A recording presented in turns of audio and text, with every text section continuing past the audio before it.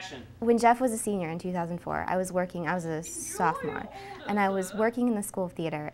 And I was just chatting with him, and I was like, So, what are you going to do when you graduate?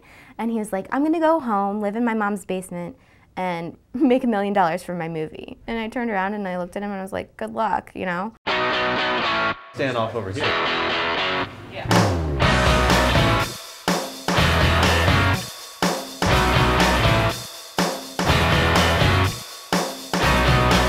Essentially, what Relative Obscurity is is uh, ensemble drama about seven students as they're struggling to figure out what they want to do. They're on the verge of graduation. The story begins with their freshman year of college and then moves on to their senior year. Some of them kind of lose their way along that journey, and some of them, you know, figure out what they want to be. They, they figure out who they are, and uh, they figure out who their friends are. So um, it's it's a character piece. It would be something that Steve would do. Is what I'm saying. Would do what? Walk against the grain of the belt. That's what I was saying. John Swartz, the producer, was able to bring together just a phenomenal crew. With professionals coming in, um, everyone, all the students working on it, n- you know, knew that we were expecting professional professionalism from them as well, and uh, and we got it. We have a pretty tight knit group. Like our group of best friends are also the group of people that make the movies. Uh, each one of us uh, has a very specific goal um, in the field. I've served as the casting director for Par-T-Com for the past couple productions. Devin can shoot it, Jeff can direct, all these people can do their parts. My job title on Relative Obscurity was I was a second assistant camera. They did most of the casting out in LA. I would have tapes fully labeled and ready to be loaded. My part is post production. I mean, we have the stuff in Steve's apartment. We have Kobe sitting in the airport. We have Claire at the computer. Zoe's dialogue is the longest during this part of the montage. We have two shots for this. I think we can definitely play with stuff. I mean, there's obvious reasons behind having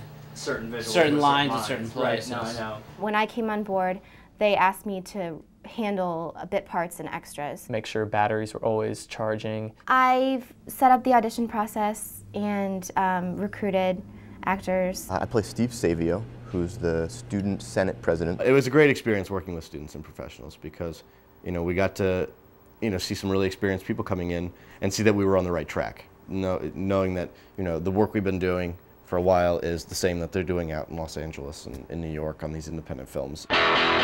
My playwriting background was extremely crucial. Particularly, the idea for the movie was um, birthed through a class with Dr. Esiaba Irobi. My name is Esiaba Irobi, but my students call me the good doctor. Who actually opens the movie, and he was the one who presented me with the quote that uh, each generation must, out of relative obscurity, discover its mission, betray or fulfill it. So, I'm really very excited to introduce you to the hottest, the sexiest, the most provocative cause that's happening on this campus this semester. What I was able to bring to the table was the process of telling stories and the process of being able to arc a narrative. And that particularly was, I think, I would, I would never be able to do that without the playwriting program. AVW, which is Athens Video Works, um, prepared me for the, for the production part of the process and how stressful that can be. It's like an opportunity to for trial and error on things and for for students to learn from other students. At one point, I think in seven consecutive quarters, I had like seven different playwriting professors who were professional playwrights from New York City. The biggest help that OU has been to me um, has been the networking and been finding the group of people that I've found. It's the out of class uh, productions that you start making connections with other people. Which is something I don't think I would have gotten in other places. That's what's great about TCOM is everyone helps each other out. Everything I wanted to learn in my last, you know, my last year at OU, and I, I was able to do it um, through experience. It really taught me, and I think everyone else, how to be compassionate in situations that are stressful, and how to be tolerant of people, and you know, how to get things done when we need to get them done in the time that we have without, you know, killing each other.